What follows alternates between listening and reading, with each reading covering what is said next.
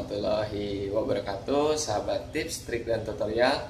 Di video kali ini saya akan memberikan video atau trik Cara membuat bracket cakram Yang basicnya tidak ada uh, dudukan cakramnya.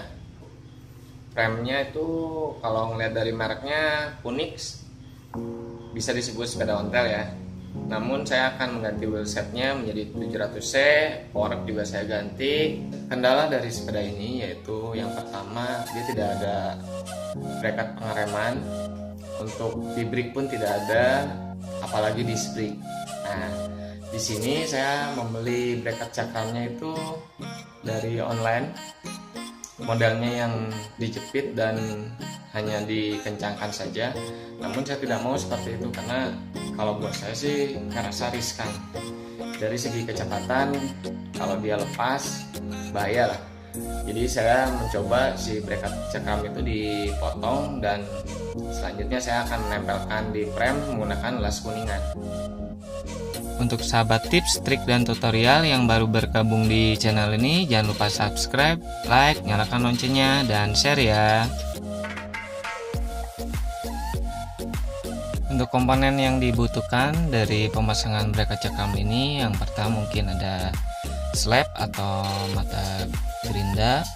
Nah, di sini ada juga gergaji besi, dan ini bekas potongan bracket cakramnya kalau diukur menggunakan sigmat ini ukurannya 3 mili. Jadi kalau menggunakan gergaji besi agak repot ya untuk gergajinya. Selanjutnya di sini ada kunci L. Ini kunci L nya ukurannya kunci L5 dia berfungsi untuk mengencangkan baut kaliper disc brake. Dan selanjutnya uh, di sini ada tang jepit ini prosesnya dia untuk menjepit sewaktu kita memotong bracket cakram ini bawahnya. Dan selanjutnya uh, di sini saya menggunakan spidol permanen.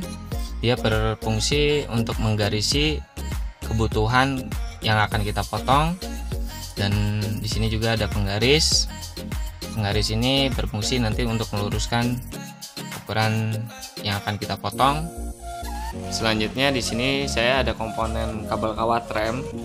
Dia berfungsi untuk menjepit kaliper disk ke rotor uh, supaya sewaktu kita menyeting atau mengukur ukuran bracket tidak berubah dan usahakan sewaktu nanti mau pengelasan pun tidak dicopot si kawat rem ini dan ada komponen tang dan obeng minus ini adalah bentuk sebelum kita pengelasan jadi usahakan hub dan disc brake sudah terpasang uh, untuk nanti kita menempelkan bracket disc brake nya ya.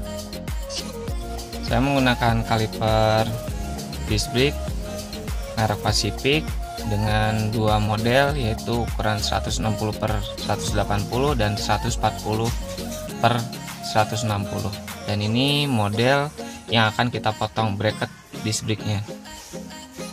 Untuk disc brake belakang saya menggunakan ukuran 160 per 140 dan untuk yang depan saya menggunakan 160 per 180.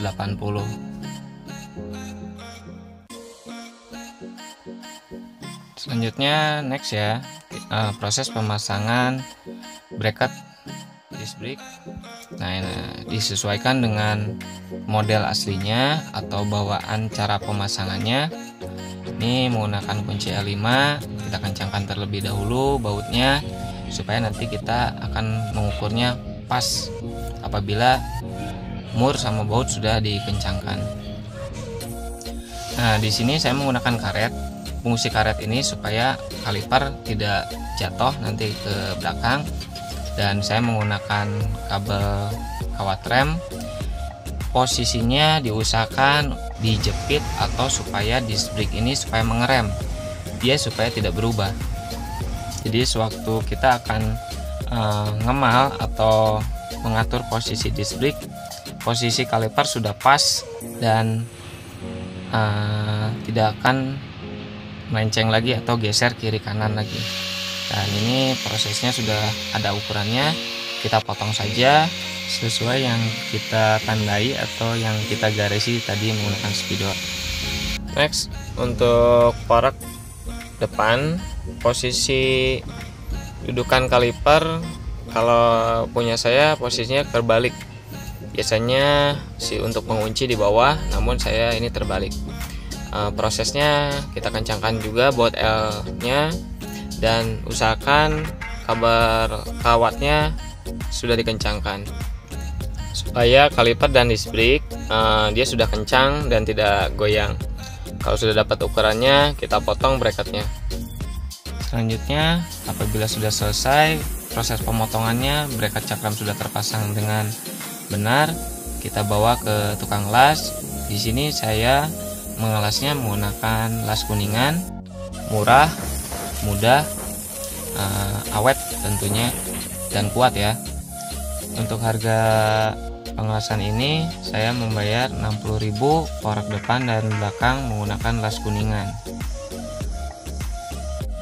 Proses pemasangan kaliper disc brake ini sudah selesai dan untuk bracket kalipernya saya membeli dengan harga 35.000 dikali 2 dan kalipernya saya membeli dengan harga 85.000 untuk rotornya itu harganya 55.000 dan ongkos pengerjaan pengelasan dengan menggunakan las kuningan itu harganya 60.000 cukup efisien uh, dari segi pengereman dan lebih aman ya untuk sahabat tips, trik, dan tutorial sampai ketemu di video selanjutnya. Assalamualaikum warahmatullahi wabarakatuh